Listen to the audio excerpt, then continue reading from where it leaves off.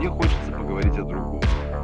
Я вспоминаю нашу отвратительную и родную коммуналку. В ней проживало шесть семейств, в общей сложности 15 человек.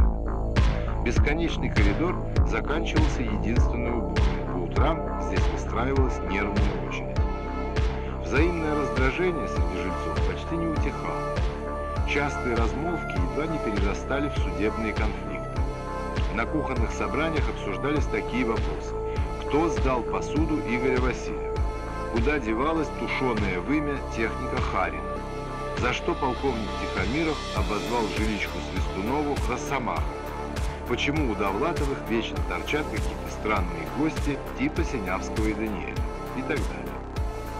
Причем жили у нас в квартире сравнительно интеллигентные люди. Искусствовед Журавский, волейбольный тренер Альшиц, полковник Тихомиров, были у нас инженеры, врачи, квалифицированные рабочие. Наконец был я, член Союза журналистов.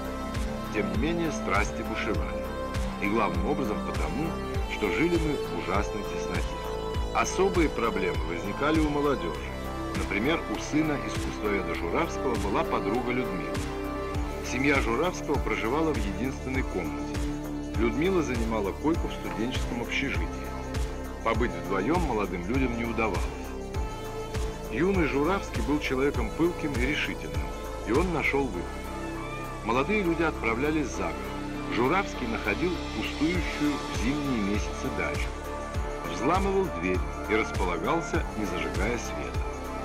Покидая дачу на утро, Журавский оставлял записку в стихах. «Благодарим вас за приют, все прочие на нас плюют.